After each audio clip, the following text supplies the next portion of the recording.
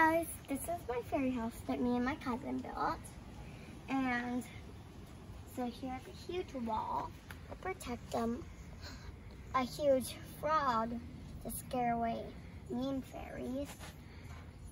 A tool bin, a little tool bin.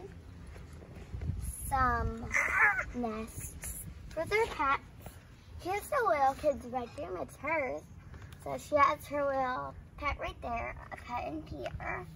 Her bed, which is made out of a seashell.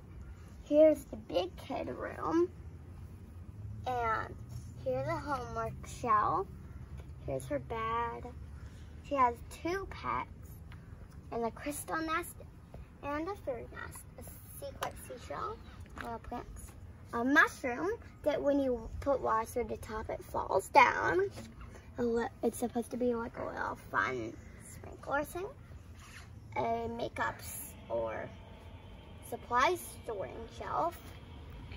The little kid's bedroom. Oh, and I almost forgot. The big kid's secret hideout. And um, and the little kid's secret hideout kind of fell last night. But it's supposed to go like this. And it's supposed to have a little chair. And it's really fun to look at. So, bye. Oh, and there's their Point House and their ice cream parlor. Bye.